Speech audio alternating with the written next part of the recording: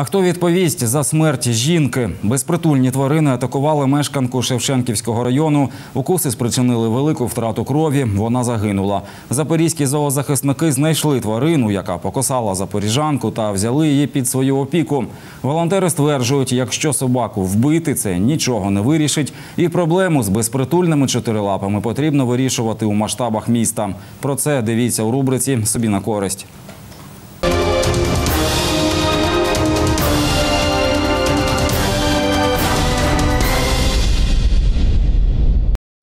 переляканого пса з перев'язаною мордою звати Бой. Якби запорізькі волонтери не знайшли його та не забрали з вулиці, скоріш за все пса просто вбили б. Адже за повідомленнями очевидців, саме він сильно покусав мешканку Шевченківського району. Жінка померла. Волонтери висловлюють глибокі співчуття її близьким. Конечно, бы с- хотелось э, вы- высказать свои при- соболезнования семье этой женщины, которая вот так вот по нелепой случайности, да, такой вот э, погибла.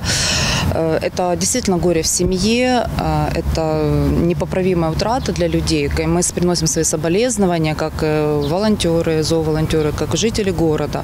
Конечно, таких э, несчастных случаев не должно быть. Но хочется подчеркнуть, что это не есть э, регулярная норма. Да, такое бывает.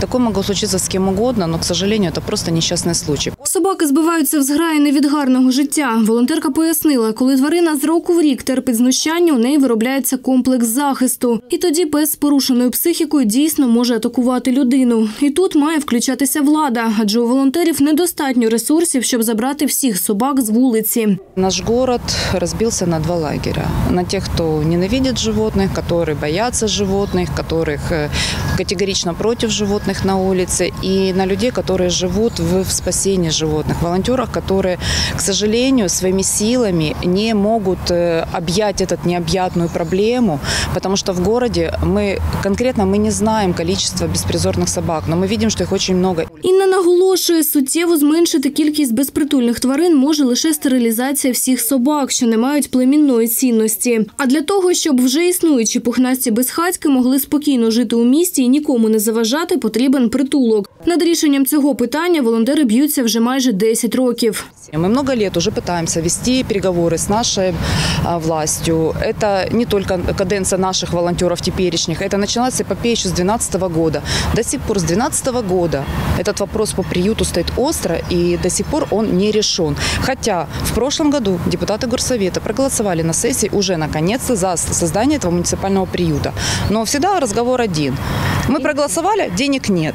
И при этом мы смотрим на КП «Побутовик», на его содержание. Два с лишним миллиона выделено, а по факту простерилизовано там всего ничего животных за эти деньги. Інна розповіла, собака Бой не повернеться на вулицю. Пес житиме у волонтерів, де його соціалізуватимуть. Проте волонтери наголошують, таких нещасних випадків може бути більше, якщо міська влада нарешті не зверне увагу на проблему безпритульних тварин.